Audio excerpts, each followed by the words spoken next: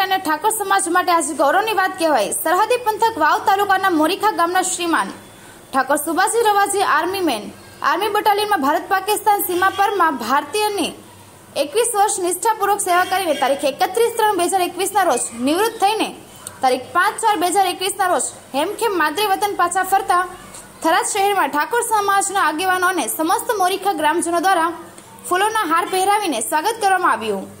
અને થરાદથી મોરીખા સુધી બાઇક અને ગાડી લઈને લોકો